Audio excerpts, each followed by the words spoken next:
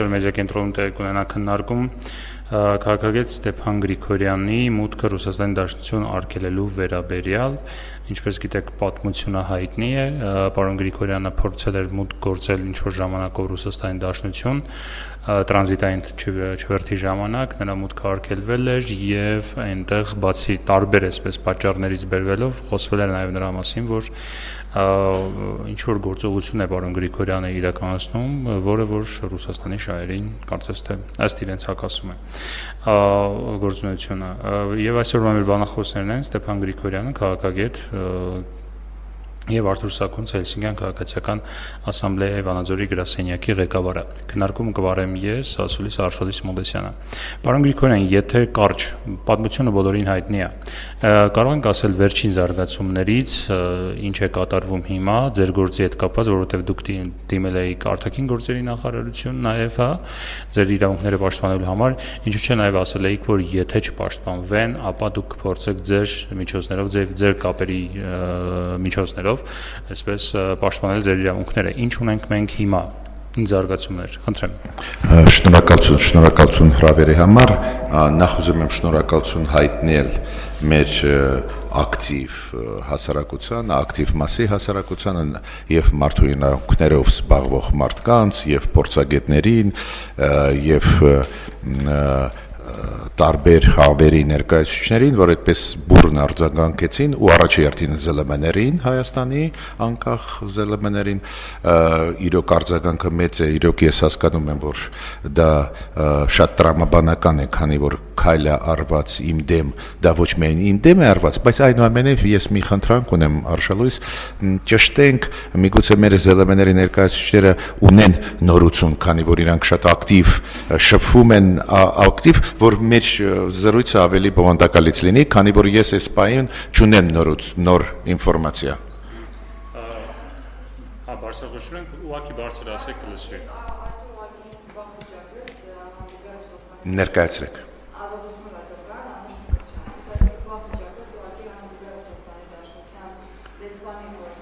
շապավալովին եւ ես ձեր այս մասով թափում եմ իրեն, մասնավորապես խոսքը սեր ցուցակ կա այսօր այլ հայաստանցիների մուտքը արկելով ռուսական դաշնություն եւ ինչու է բարելավված ձեզ արտաքսելը եւ արդյոք դա չի ազդի հայ ռուսական հարաբերությունների վրա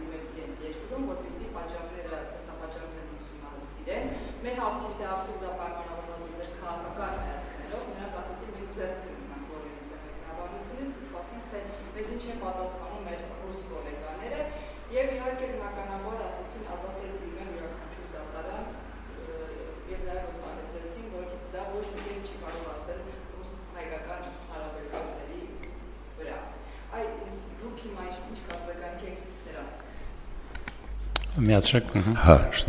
Կընտրեմ։ Շնորհակալություն, շնորհակալություն։ Ու ազատություն ռադիոկայանը շատ ակտիվ է լուսաբանում։ Շնորհակալություն, շատ պրինցիպիալ դիրքորոշում ունեք։ Ես սա կա կարևոր եմ համարում։ Ու առաջիններից էինք, որ դուք տարածեցիք իմ հայտարարությունը, երբ որ 31-ին օգոստոսի ես տարածեցի հա, հայտարարություն դուք արձագանքեցիք, շատ շնորհակալ եմ։ Հիմա նու պորզը ինքը դիվանագետ է, ինքը ես ինչքան հասկացա բավական բավական, ասենք, պաշտոնական արձագանքեց, ինքը դիվանագետ է, ինքը իրանք չունի ավել բան ասել։ Դրականը ես տեսնում եմ ականհայտ նա նաև որ ընդունեցին, որ իրանք ստացան այդ դիմումը, դա շատ կարևոր է։ Ի վերջո մենք կարող ենք հույս պայփայել, որ ի վերջո մեզ կպատասխանեն կան ցուցակներ թե ոչ, նո ժամանակը ցույց կտա։ Գիտեք, փորձը ցույց է տալիս, որ միշտ ժամանակը գլխավոր դատավորը ժամանակն է, ժամանակը ցույց կտա այս ձևի երևույթներ մենք կտեսնենք թե ոչ, մեր հասարակական կամ քաղաքական գործիքների նկատմամբ Աստված տա, որ այդ ինֆորմացիան ճիշտ լինի։ Բայց այն, որ ինքը ասեց, ինձ համար շատ կարևոր բան ասեցիք, որ ինքը ասեց, որ իրանք դիմումա ընդունել են, արգոտնախարարությունը դիմում դիմում դիմումով հանդես եկավ ու իրանք սպասում են արձագանքի, դա շատ կարևոր է։ Գիտեք ինչի, քանի որ ես հիմա մտածում եմ, ես ինչ պետք է անեմ, ուզում եմ մեր մարդուհրամքների պաշտպաններին, ասենք, աջակցություն, չէ, խնդրում, նաև պարոն Արթուր Սակոնցինի ես դիմեցի խնդրանքով զբաղվել իմ հարցով, բարձր որ մենք պետք է գոնե ինչ որ պատասխան ունենանք, էլի, որ մենակ եզրակացություններ չանենք, ասենք, քաղաքական լինեն դրանք թե այլ տիպի, չէ, օրինակ երբ որ ես ասում եմ որ իմ կարծիքով ինձ թույլ չտվեցին մոտ գործել այդ 26-րդ հոդվածի 9-րդ կետի կետի համաձայն այդ գիտեք այդ օրենքն է որը կարգավորում է մուտք ու ելքը Ռուսաստանի Դաշնություն այդ իմ ենթադրությունն է տրամաբանական շատ բայց իմ ենթադրությունն է հասկանում եք երբ որ մենք ստանանք պատասխան ռուսական կողմից ու ինչ կան հասկանում այդ հայտարարությունը հույսեր մեզ տալիս է շնորհակալ եմ այդ ինֆորմացիայի համար ձեզ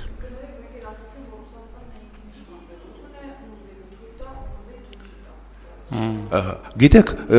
իրոք նույնիսկ եվրոպացիները այ երբ որ մեկ-մեկ մերժում են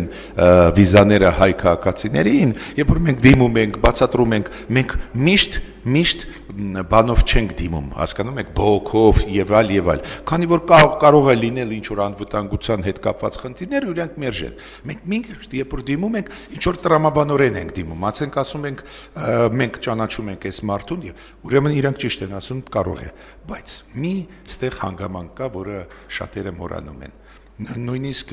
Ռուսաստանի հայտնի փորձագետներից մեկը ասաց, որ գիտեք ինչ է, այո, մենք կարող ենք նույնիսկ քաղաքական դրդապատճառով մերժել, բայց մի հանգամանք կա, որը իրանք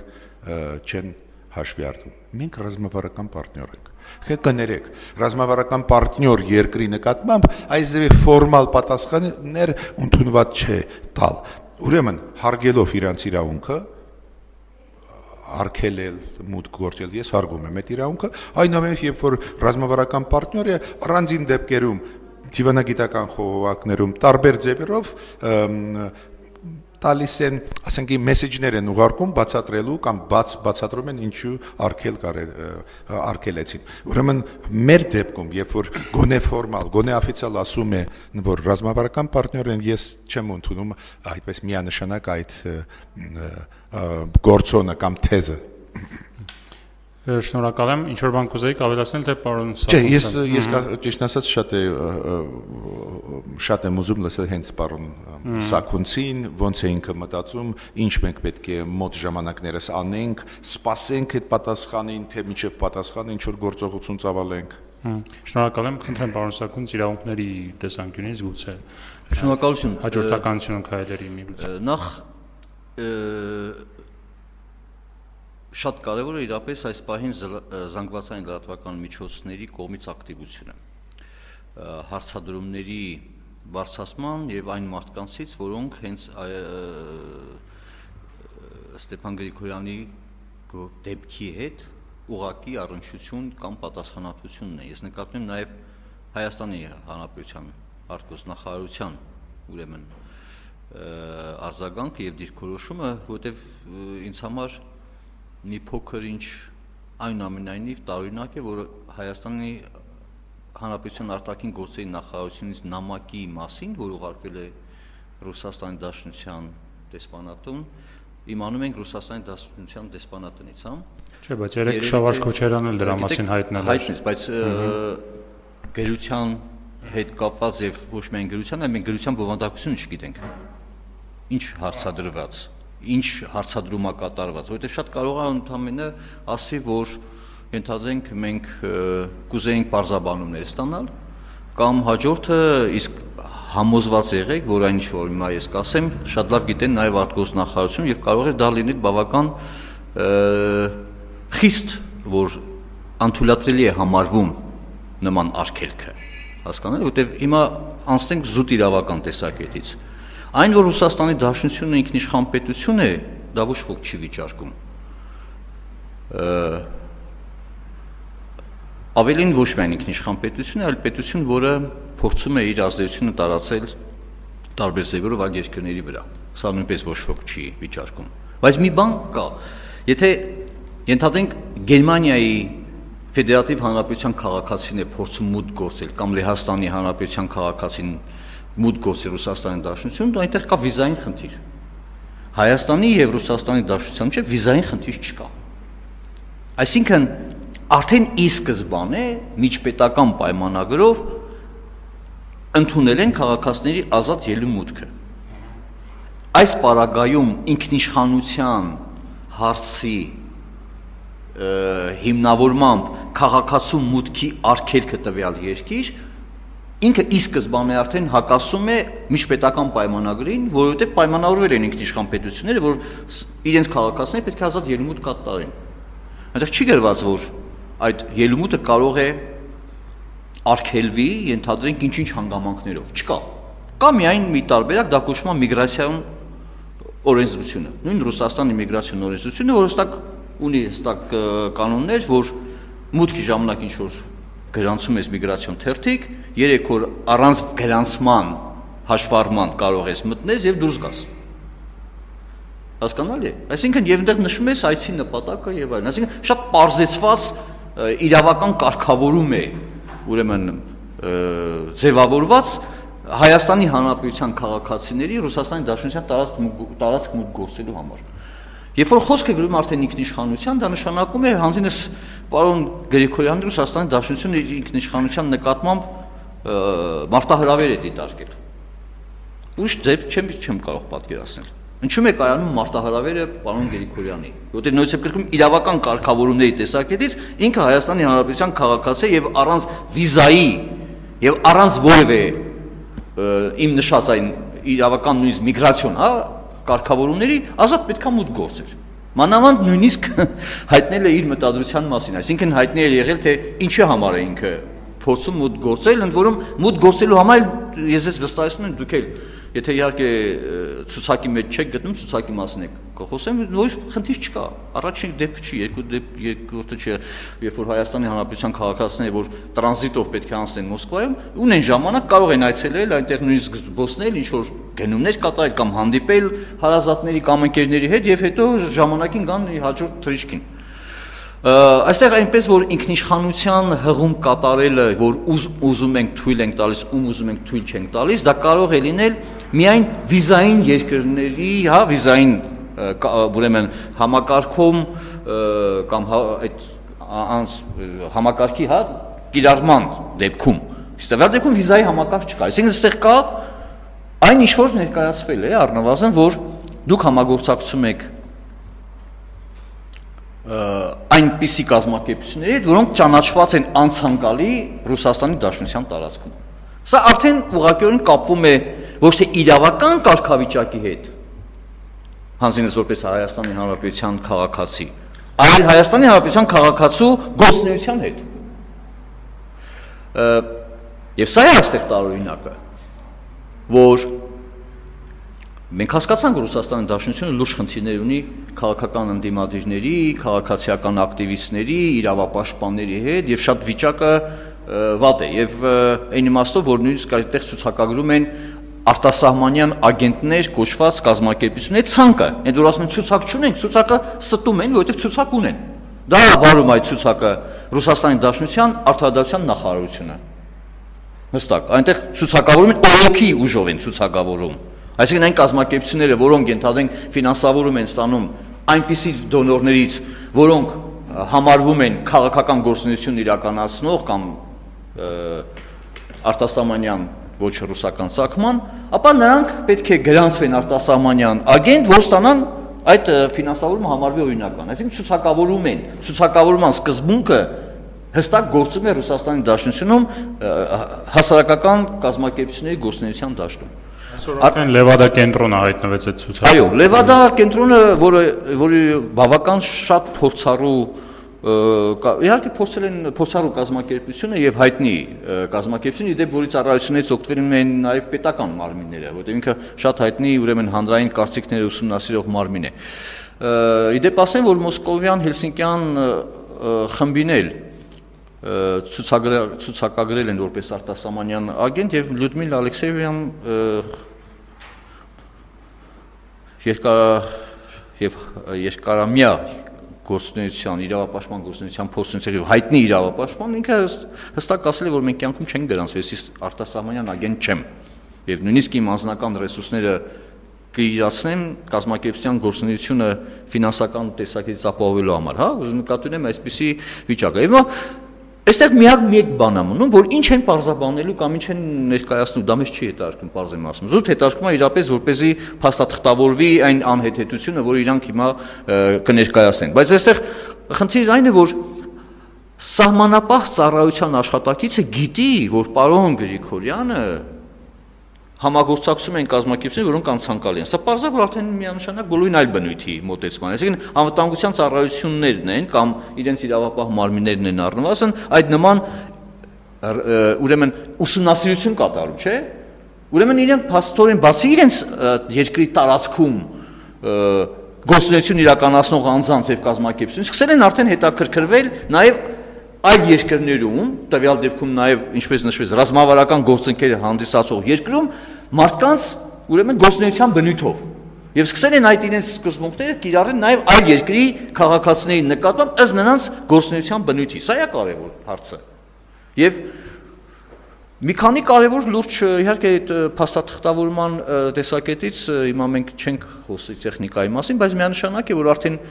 իսկ անհրաժեշտություն չկա անցնել Ռուսաստանի դատականացյաններով, որ เป զի դիմել երոպական դատարան։ Պարզ եմ ձեզ ասում, հստակ։ Իհարկե մի քիչ այլ դեպքի մասն է, բայց Պերմիակովի գործով մենք չենք սպասելի դատականացյաններ ասում, որովհետև հենց Ռուսաստանի Դաշնությունը արդեն իսկ խախտել է։ Եվ մենք միանգամից ուղարկել ենք երոպական դատան Ռուսաստանի Դաշնության կողմից իսկ գործողության հա համար։ Փարքասու պարոն Գրիգորյանը ողջ է մնացել եւ նրան ընդամենը 10 քանի ժամ պահել են փաստացի ձերբակալման մեջ։ Դուք հասկանում եք, մարդուն պահում են փաստացի անազատության մեջ, դա կոչվում է ձերբակալում։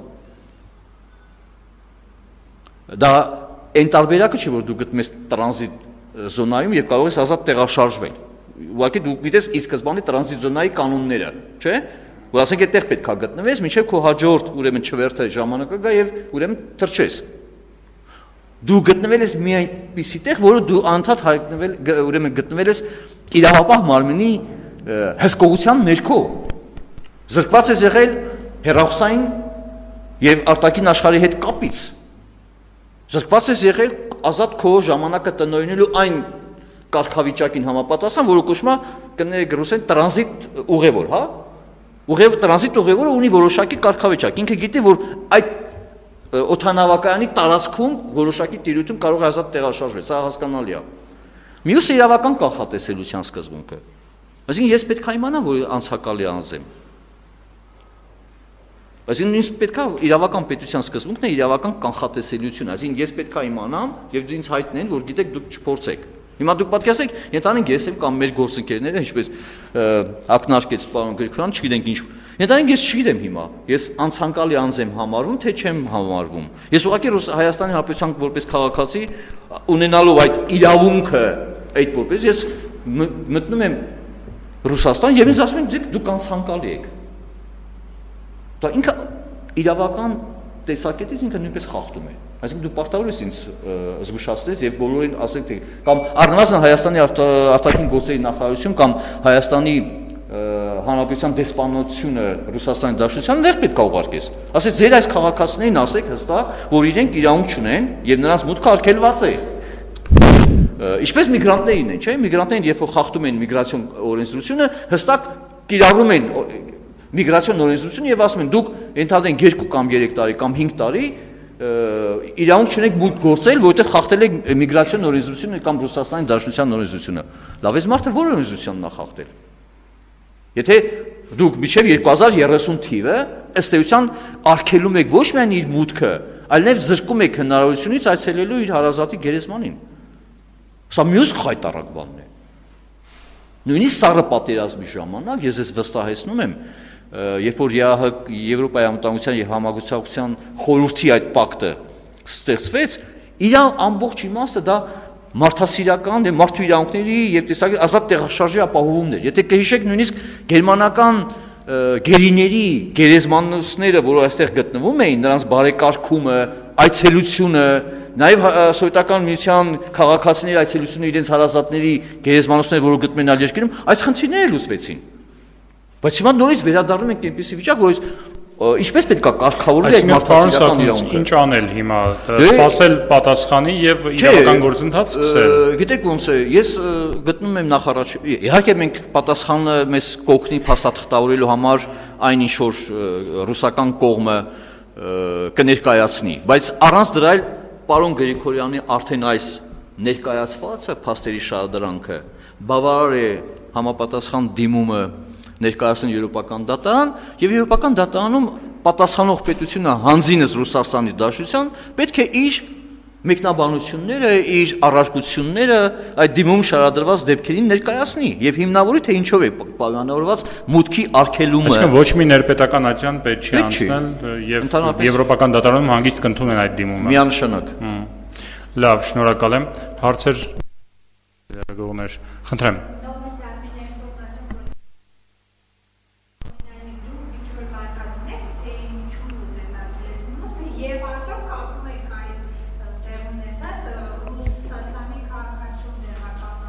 Միրոնովի ձերբակալման մասին է խոսքը, Միրոնովի, հա։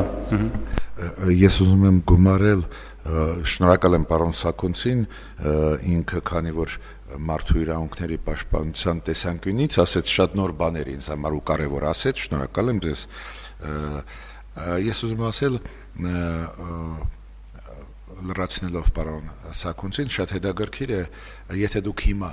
հիմա նու գոնե երեք ես ստուգեցի վերցնեք իմ երկու անձնագրերը Ես ունեմ երկու, ես Հայաստանի քաղաքացի եմ, միայն Հայաստանի քաղաքացի, ունեմ երկու անձնագրեր, կենսաբանական եւ սովորական, եթե հիմա ձեզ տամ դուք ռուսակ ռուսաստանի միգրացիոն ծառայության կայքում գտնեք այդ տեղը որտեղ որ մտցնում եք տվյալները անձնագրի ու վերջում դա տալիս է դու իրավունք ունենք մուտք գործել թե ոչ ես իրավունք ունեմ մուտք գործել երկու այդ անձնագրերով ու պարոն Սակոնցը շատ ճիշտ է պատկերացնում եք վաղը ցանկացած ձեզանից մեկը ստուգում է իրավունք ունի մուտք գործել թե ոչ միգրացիոն ծառայությունը ասում է բարի գալուստ հետո դուք գրում եք արտգործնախարարություն հետել ձեզ ասեմ ինձ ասեցին ռուսաստանի արտգործնախարարությունն ասում է ոչ մի ես պրետենզիա չունեմ, հետո մուտք եք գործում, ձեզ գրեթե ձերբակալում են, մեկուսացնում են։ Ուրեմն ստեղ իրոք խնդիրը շատ իմ կարծիքով լուրջ է, ու ոչ միայն կապված ինձ, նաև կապված այլ մարդկանց հետ, քանի որ եթե նույնիսկ ասում եմ ցուցակ չկա, չգիտեմ, բայց ինչի հետ է կապված, որ իմ մուտք գործ չգործ թույլ չտվեցին մուտք գործել ու ամենակարևորը միջև 2030 թիվ։ Այդ ինչ որոշում է, այսդեպի մենք բան չենք լսել ու գիտեք միգրացիոն ծառայությունը ինչքան մենք գիտենք միջև 5 տարվա զրկելու իրավունք ունի։ Բայց հիմա ձեր ասացի հետ կապված պարոն Սակունցը նաև ուզում եմ լրացնեմ, ասեց որ 3 օրվա իրավունք ունենք, եթե մենք մտնելուց հետո հիմա դա դարձավ, եթե չեմ սխալվում 30 օր Օրինակ ես մի երկու ամիս առաջ Բելարուսում էի, սկսեցի ինչ որ բան լրացնել, դու գիտեք այդ կվիտոկը որ տալիս, ինձ ասեցին սխալ արեցիք, որ լրացրեցիք 30 դոլար դուք ունեք իրավունք ազատ մուտք գործել առանց ոչ մի բանի։ Այո։ Հիմա վարկածների մասին։ Գիտեք, վարկածները շատ ինձ համար նույնիսկ հասկանալի են այդ Միրովնովի վարկածը, այլ վարկածներ, բայց ես ասեմ այն, ինչ ես քաղեցի ուսումնասիրելով այդ օրենքը, այդ 26-րդ եւ 28-րդ հոդվածները։ Ասենք այդ հոդվածները հատուկ հոդվածներ են այդ օրենքի մուտք ու ելքի Ռուսաստանի Դաշնային օրենքի, որոնք կարգավորում են արգելքը այդ երկու հոդվածները։ Օրինակ ես կարդում եմ գրածը մարդ, որը թաքցրեց կամ օգտվեց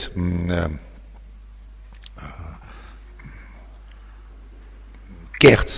կեղծ փաստաղտտրելով, եթե բռնում են Ռուսաստանում, հետ են ուղարկում։ Ասենք մարդը մուտք գործեց կեղծ կեղծ փաստաթղթերով, բայց պարզվեց, որ դա կեղծ է, այդ մարդուն հետ են ուղարկում։ Եվ այլ եւ այլ, պարզա ոչ ոչ մի այդ հոդվածներից ոչ մի մեկը ինձ հետ կապ չունի։ Օրինակ ես ներողություն եմ խնդրում, բայց բաց ձեզ ասեմ, ես բռնաբարություն չեմ կատարել կյանքում։ Ոչ մի ինչ որ առարկ, որի համար ասենք դատված էի։ Ես չունեմ չմարված դատվածություն, այդպես էլ գրված է։ Չմարված դատվածություն ունեցող մարդը, եթե խապեց մտավ Ռուսաստան, հետո պարզվեց, որ ունի չմարված դատվածություն, հետ են ուղարկում։ Ես ճիշտ է ձեզ ասեմ, ես սուստև եմ մարդ չեմ, էլի անկեղծ եմ ասում ձեզ, դա ստուգել շատ հեշտ է։ Հիմա մի հոդված մենակ այդ այդ 26-րդ հոդվածի 9-րդ կետ, то есть մենակ մի կետ այդ բոլոր երկու հոդվածների տակ շատ են կետերը։ Այդ մենակ մի կետը, որը ինձ բռնում էր։ Դա է պատճառը, որ իմ վարկածը դա է ինչի մասին ասած պարոն պարոն Սակունցը ներողություն խնդրում դա ձեր վարկածն է թե այնտեղ ձեզ ասել են որ SSS պատճառներով ձեզ չեն ոչ ինձ տվեցին այս ձևի ծանուցու որտեղ տեսնում եք գրված են 26-րդ եւ 27-րդ հոդվածների համաձայն մերժված քաղաքացիներ, ստեղ ավելի մանրամասնում եմ ասեն 27-րդ հոդվածը, որտեղ որ ես ուսումնասիրելով տեսա, որ բոլոր այդ կետերը ինձ հետ կապ չունեն, դրա համար քանի որ ստեղ փաստաթղթում նշված են երկու հոդվածներ, երկուսն էլ ուսումնասիրեցի։ Հա։ Չէ, դե այնտեղ ես չեմ հասցրել ուսումնասիրել։ Ինչ է դա տվեցին ու ասեցին բարի գդալուստ, կոպիտ ասած։ Չէ, չէ, հիմա դե parza։ Այո, հիմա ես ուսումնասիրեցի։ Ինչա։ Ահա, 9-րդ հոդվածում գրված է այն, ինչի մասին նոր ասեց պարոն Սակունցը, որ օտարերկրակ քաղաքացին, որը կամ աշխատում է, կամ համագործակցում է այն կառույցների հետ, որոնք մտնում են այդ ցուցակի մեջ անցանկալի կազմակերպությունների, դրա մեջ մտնում են եւ միջազգային կազմակերպություններ, եւ տարբեր պետությունների ՀԿ-ներ, հասարակական կազմակերպություններ։ Հիմա Ռուսաստանի այդ ցանկը ցուցակը կա եւ բաց մաս է ցուցակի, դուք գիտեք, շատ ու շատ կազմակերպություններ արգելված են Ռուսաստանում, նաեւ այդ թվում տարբեր պետությունների կառավարության գործ գործակալությունները։ Նաև կա փակ մասը։ Հիմա ես որտեղից իմանամ, ինչի որ որ մեկի պատճառով։ Ես չեմ ཐակցնում, որ մենք շատ ու շատ ունենք պարտներներ Եվրոպայում։ Լիբերալ կենտրոններ տարբեր կան, շատ ու շատ պարտներներ ունենք միջազգային դա էլ մեծ գաղտնիք չի, դուք մասնակցել եք մենք կոնֆերանսներում, բոլորը լեգալ են։ Ես ինչի հանգիստ եմ, որ ուրիշ հոդվածներով դա չի, այս հոդվածով են ինձ մոտ դուլ չտոյ։ Քանի որ ես գիտեմ, ես ինչ եմ անում։ Ես գիտեմ, գոնե ես գիտեմ, որ ինչ ասում եմ կուլուարներում, բաց ձեզ ասում են ստեղ կյանքում չի եղել որ ես կուլուարներում մի քիչ այլ բան ասեմ հասկացում եք չէ то есть բաց տրանսպարենտ գործողություն եմ ծավալում դա է պատճառը որ ես հակված եմ այնուամենայնիվ այս վարկածի ես ուղղակի անդրադառնամ Միրոնովի հետ կապված նախ ասեմ ինքը անհամատեղելի է որտեղ Միրոնով ակնհայտ քրեական հետապնդման հետ կապված գործողություն է մի բան նաև պարոն Գրիգորյանը համեսությունը ինքը դիվանագիտական աստիճան ունեցող անձնավորություն է դիվանագիտական գործունեության հետ է կապված երբ որ Ռուսաստանի դեսպանի խորհրդական ասել է որ դա չի ազդի հայ-ռուսական հարաբերությունից, համը շատ տարօրինակ է։ Հա, դիվանագիտական գործունեության փորձ ունեցող Ռուսաստանի դաշնությունում Հայաստանի դեսպանության կարևոր, հա, ասենց դեմ աշխատողներից եւ եւ նաեւ ռուսական քաղաքական շրջանակներում են ճանաչում։ Այսինքն հիմա եթե հայ-ռուսականների հարաբերությունների վրա դիվանագիտական աշխատանքի փորձ եւ ակտիվ ներկայումս նաեւ դիվանագիտական շրջաններում գործունեություն ծավալող անձը չի կարող ասնել, դա ավելի շատ խոսքը վերաբերում է նրան, որ այն բոլոր քննադատությունները, որ կա տեսակետները այդ թվում Ռուսաստանի Դաշնության իշխանության քաղաքականության վերաբերալ դա մեզ չի հետարկում, դա իրանց ասածը մեսիջը։ Եվ այդ ամենը որևէ ազդեցություն չի ունենա։ Եվ ըստ էության, այսինքն հայ-ռուսական հարաբերությունները միայն գտնվում են պաշտոնական, հա, մակարդակներում, իսկ հանրային եւ փորձագիտական շրջանակներում այդտեղ հարաբերություն չի կարող լինել։ Սա շատ հետաքրքիր արձանագրում է։ Այն դեպքում, երբ որ ըստ էության հարաբերությունների դաշտը շատ ավելի լայն է, քան միայն պետական մակարդակով։ Եվ այս առումով եմ ես որ մեկ անգամ եւս շեշտում եմ, որ ես այնուամենայնիվ գտնում եմ, որ տեղի ունեցել ըստ քաղաքական հայացքների անձի նկատմամբ ազատ տեղաշարժի սահմանափակման անձերմեխելիության, անձնական անձերմելիության իրավունքի խախտում,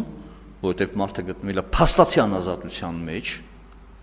առանց իրավական որևէ հիմնավորման եւ ի վերջո նաեւ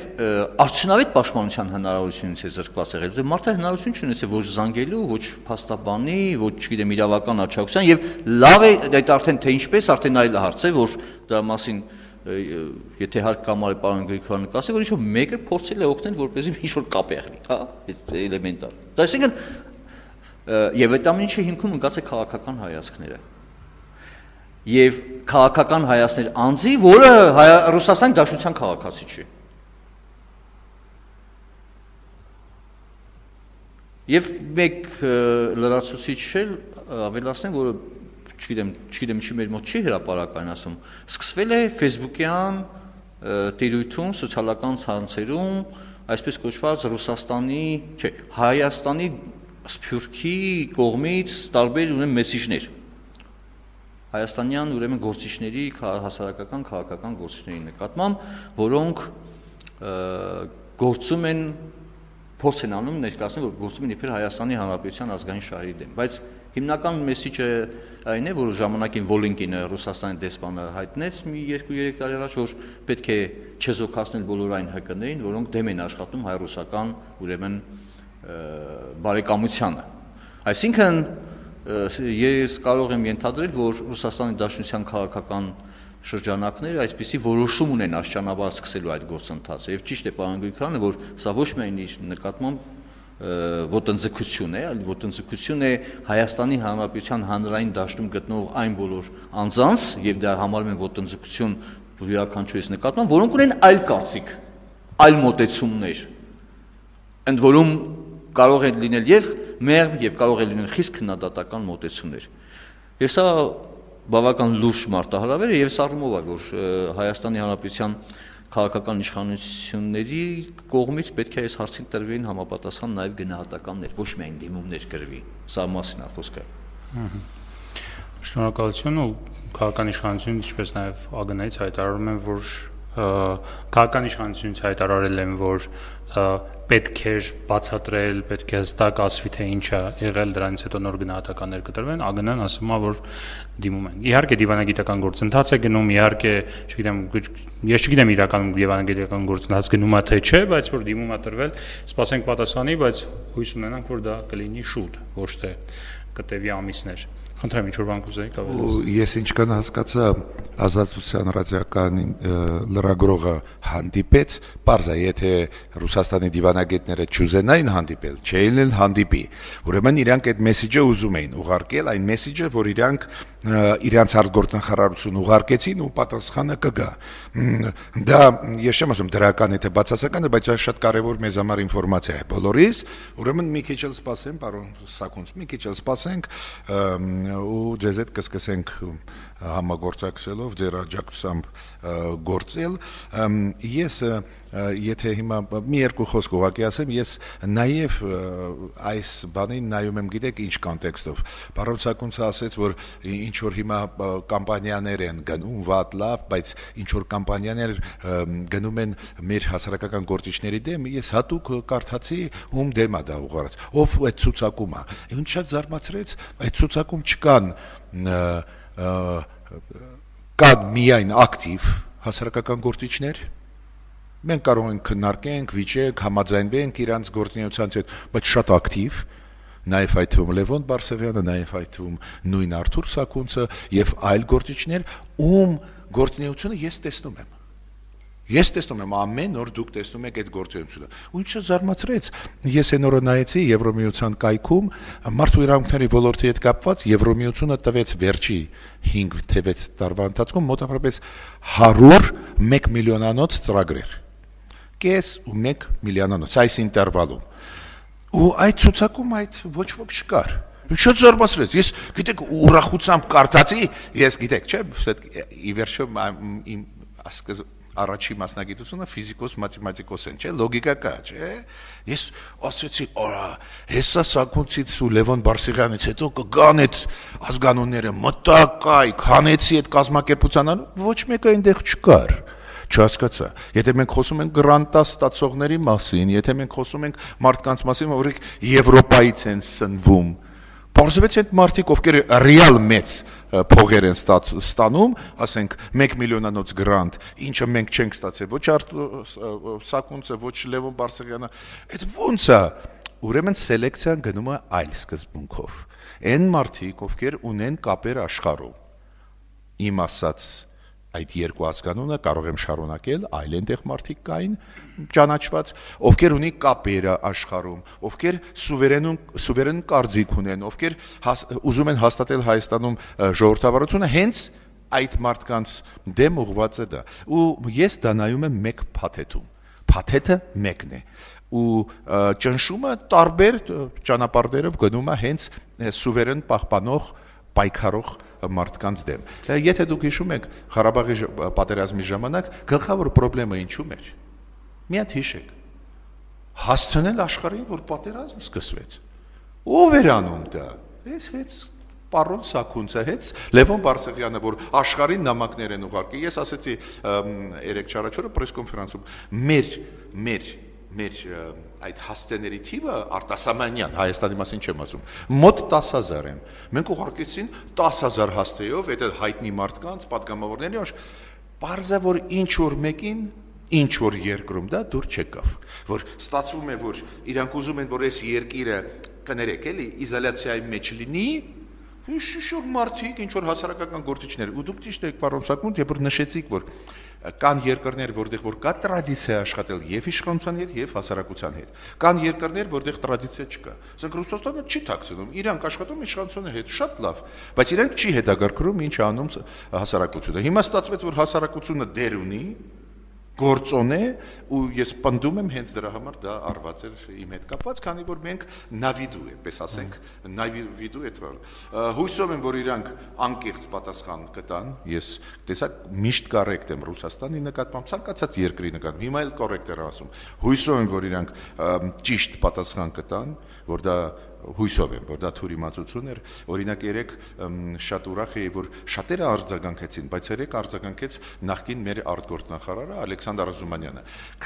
Քանի որ ինքը հենց արտգործնախարար էր Հայաստանի, շատ կարևոր էր ինձ համար այդ արձագանքը ու հստակ էր դա, որ ոչ մի ուրիշ ինքը աստար չի տեսնում, բացի քաղաքական այդ կոմպոնենտից։ Շնորհակալություն, ինչ վերաբերում է նշված այդ ցուցակին, որ Յանի այսպես ասած սփյուռքից, հա, գալիս է, բայց հետաքրքիր էր այնտեղ տեսնել, որ բացի ձեզանից նաև հանրապետականի ներկայացուցիչներ ներառված էլի այդ այդ բանը բայց հա ինչև է ինչ վերաբերում է գրանտերին կամ մյուսներին ամենամեծ այսպես ասած գրանտ վերցնող կազմակերպությունը դա պետությունն է եւ պետք է հետեւել պետության ցուցակը չմցրել պետության պետությունը ինչ անում շնորհակալ եմ ձեզ քննարկմանը մասնակցելու համար մենք այս քննարկման նաև իմացանք վերջին տեղեկատվությունը այն ինչ ասվել էր Ռուսաստանի Դաշնության դաշնություն ներկայացնող անձի կողմից դիվանագիտական ռանգ ունեցող,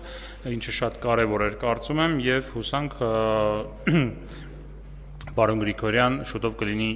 պատասխան եւ այդ պատասխանը կբավականացնի ձեզ մեդիակենտրոնում տեղի ունեցավ քննարկում Ստեփան Գրիգորյանի մուտքը Ռուսաստանի Դաշնություն արգելելու վերաբերյալ մեր բանախոսներն էին Ստեփան Գրիգորյանը եւ Արթուր Սակունցը։ Շնորհակալ եմ ձեզ, հաջողություն։